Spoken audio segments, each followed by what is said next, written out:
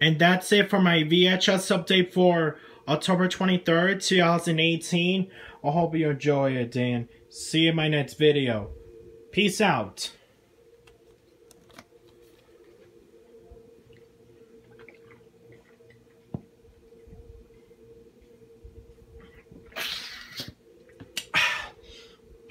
Excuse me.